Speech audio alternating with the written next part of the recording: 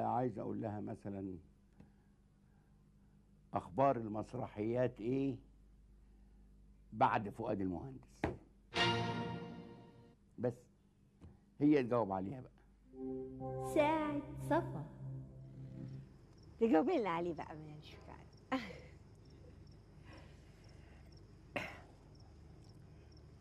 آه الم... المسرحيات بعدك يا أستاذ فؤاد. تحس باليتم حقيقي. ربنا يديك الصحة وطولة العمر. وتمتعنا. وما كنتش هتقدر تمتعنا بالمسرح. تمتعنا بإخراج لك للمسرح. تمتعنا. بفهم الجيل الجديد تقعده قدامك وتقول له يعمل إيه.